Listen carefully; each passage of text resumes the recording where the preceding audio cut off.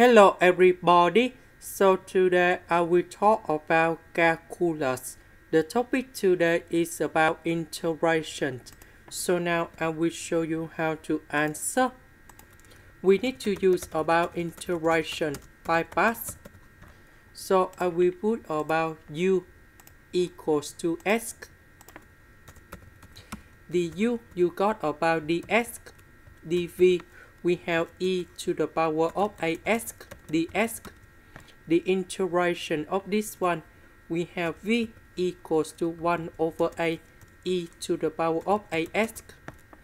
And now, we have u multiplied by v minus we have the u multiplied by v so we have 1 over 8 and we have the integration e to the power of ax dx.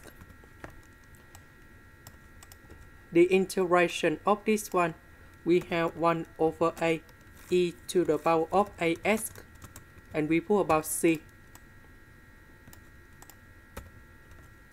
1 over a, 1 over a, you got about 1 over a square. And we have e to the power of ax. This is the end. Thank you for watching.